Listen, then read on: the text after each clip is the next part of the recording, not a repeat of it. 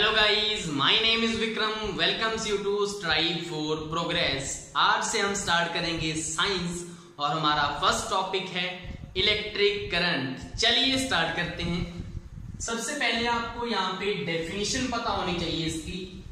In any electric circuit the amount of charge passed from a point per unit time is called electric current कैसे? कि अगर हमारे पास कोई electric circuit है, वो आपको पता है कि हमारे पास अगर कैसे बनाते हैं लोअर क्लासेस में, अगर हमारे पास क्या है, एक इलेक्ट्रिक कंडक्टिंग वायर है, अगर मैंने उसको एक बैटरी से अटैच कर दिया, यहाँ पे पॉजिटिव और नेगेटिव ये हमारी क्या होगी बैटरी होगी, और ये हमारी क्या है कंडक्टिंग वायर है, ये हमारा एक कंडक्टर है तो ये हमारा क्या बन जाएगा, एक इलेक्ट्रिक सर्किट बन जाएगा। तो इसमें अगर किसी पॉइंट से, ये हमारा एक पॉइंट हो गया, यहाँ से कितना चार्ज फ्लो कर रहा है पर यूनिट टाइम वो हमारा क्या होगा? इलेक्ट्रिक करंट होगा। तो I इज़ इक्वल टू क्या आएगा? Q बाई टी Q का मतलब यहाँ पे क्या है? चार्ज है, जो कि इस पॉइंट से फ्लो कर रहा है। और T हमारा टाइम है पर यूनिट टाइम कितना फ्लो करेगा? वो हमारा करंट आ जाएगा। अब यहाँ पे होता क्या है? Q इजिकल टू क्या आएगा? बेसिकली यहाँ पे फ्लो कर कौन रहा है? कौन फ्लो कर रहा है? इलेक्ट्रॉन ही तो फ्लो कर रहे हैं। कैसे? किसी भी कंडक्टर में क्या होंगे? एटम्स होंगे। एटम्स होंगे तो फ्री इलेक्ट्रॉन होंगे, जो कि वायर में क्या होंगे? फ्री होंगे। यहाँ पे इलेक्ट्रॉन होगा यहाँ पे इलेक्ट्रॉन होगा। और इलेक्ट्रॉन के ऊपर आपको पता है क्या होता है? नेगेटिव चार्ज होता है। तो यहाँ पे अगर नेगेटिव चार्ज है और हमारे बैटरी के ऊपर क्या है? यहाँ पे इस साइड में पॉजिटिव है। तो पॉजिटिव नेगेटिव को क्या करेगा? अट्रैक्ट करेगा और यहाँ से इलेक्ट्रॉन इस साइड में फ्लो करेंगे और यहाँ से करंट फ्लो करने लग जाएगा। तो यहाँ पे बेसिकली इलेक्ट्रॉन ही तो फ्लो कर रहे हैं। तो यहाँ पे चार्ज आएगा कौन सा? कि इस पॉइंट से कितने इलेक्ट्रॉन यहाँ से पास कर रहे हैं पर यूनिट टाइम वो हमारा क्या होगा? करंट होगा।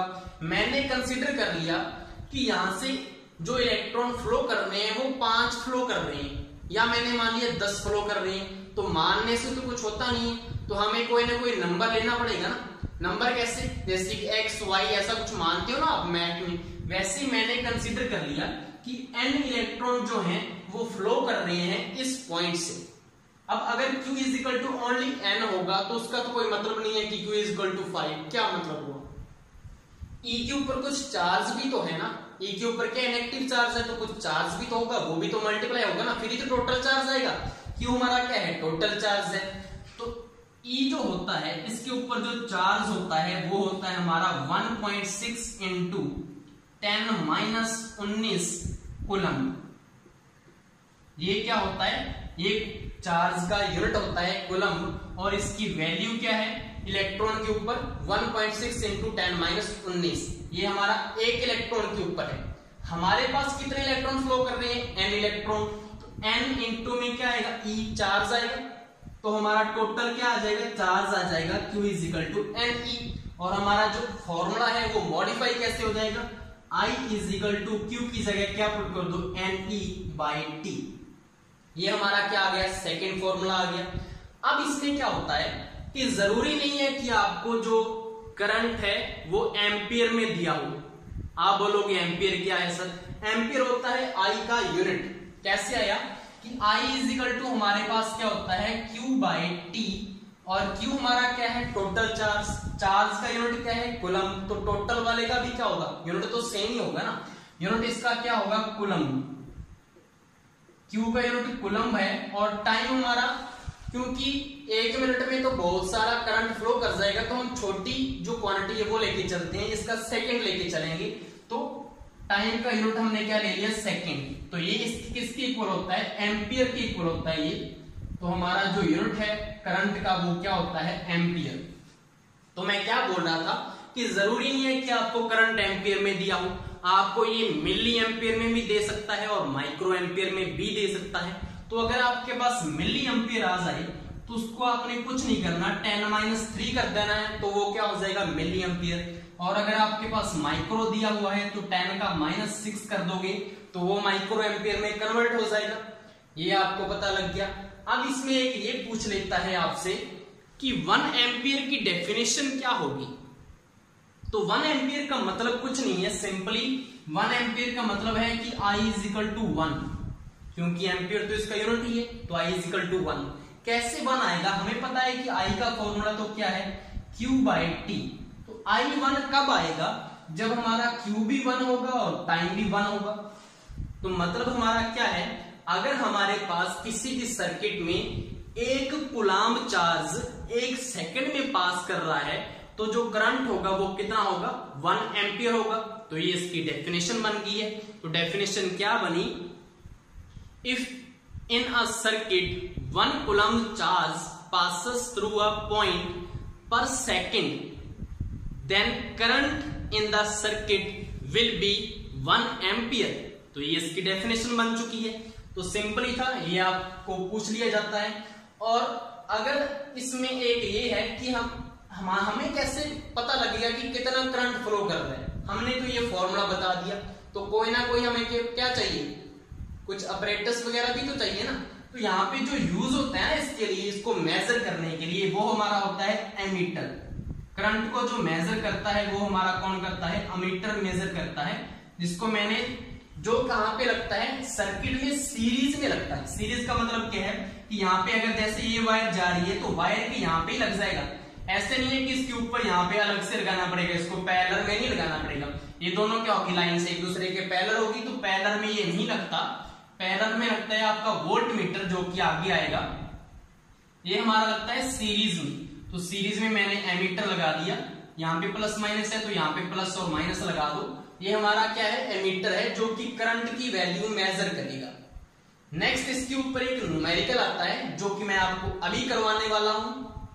क्वेश्चन हमारा ये है कि find the number of electrons in one coulomb of charge तो हमने क्या फाइंड करना है? नंबर ऑफ़ इलेक्ट्रॉन्स जो हमने एन वैल्यू कंसिडर की थी ना, उसकी वैल्यू निकालनी है और हमें टोटल चार्ज दे रखा है उसने वन कुलम तो टोटल चार्ज दे रखा है।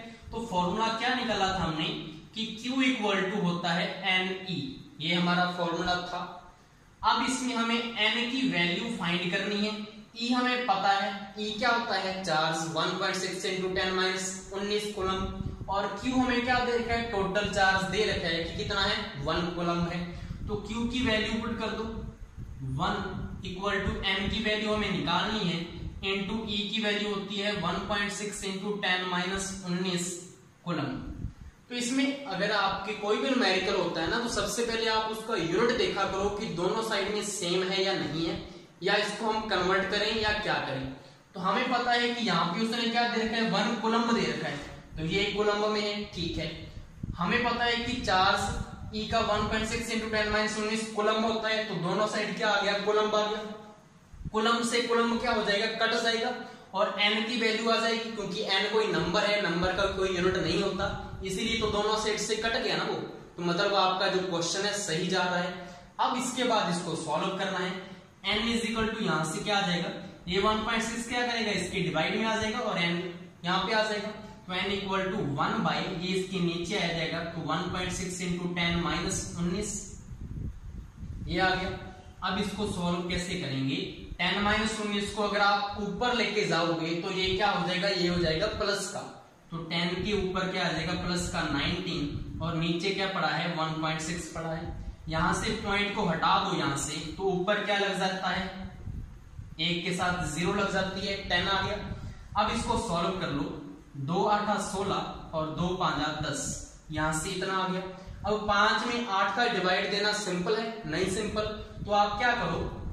इसको सिंपल करने के लिए टेन की पावर में क्या है? उन्नीस है। इसको आप एक कम कर लो और दस को मल्टीप्लाई में लिख लो कि टेन की पावर एटीन है और यहाँ पे मैंने टेन को एक बाहर निकाल लिया और यहाँ पे इंटू में क्या है हमारे पास फाइव है और नीचे हमारा क्या आ गया? एट आ चुका है। कि यहाँ पे क्या है? टेन की पावर वन है। तो ये अठारह और एक क्या हो गया? उन्नीस हो गया तो मैंने इसको इंटू में लिख लिया। अब इसको सॉल्व करना सिंपल कैसे होगा कि दो चौका आठ और दो पांचा दस। यहाँ से क्या आ गया? फाइव और आ गया। अब ये कितना हो गया? पाँच, पांचा पच्चीस हो गया। अब पच्चीस में चार का डिवाइड देना सिंपल है। तो अब इसको डिवाइड दे दो। पच्चीस में चार का दिया क्या आएगा? चार छ का चौबीस, वन पॉइंट ज़ीरो, चार गुना आठ। दो पॉइंट के बाद यहाँ पे ज़ीरो लग जाएगा और चार पांचा बीस। और ये टोटल पूरा का पूरा गया। तो यहाँ से इसकी वैल्यू कितनी आ गई है? सिक्स पॉइंट ट्वेंटी फाइव ये तो हमारी किसकी आई है? ओनली इस वाले की वैल्यू आई है। और इनटू में क्या पड़ा है हमारा? टेन की पावर एटीन पड़ा है। तो यहाँ से टेन की पावर एटीन आ जाएगा।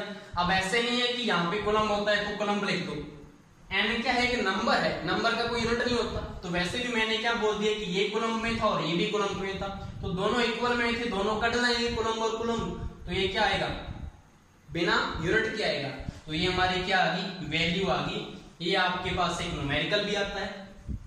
आई होप सो आपको सारा का सारा ये टॉपिक समझ में आया होगा। Thank you